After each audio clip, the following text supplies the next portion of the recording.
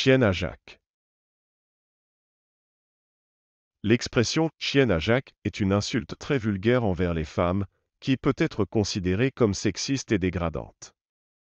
Le sens de cette expression est souvent interprété comme signifiant une femme infidèle ou facile.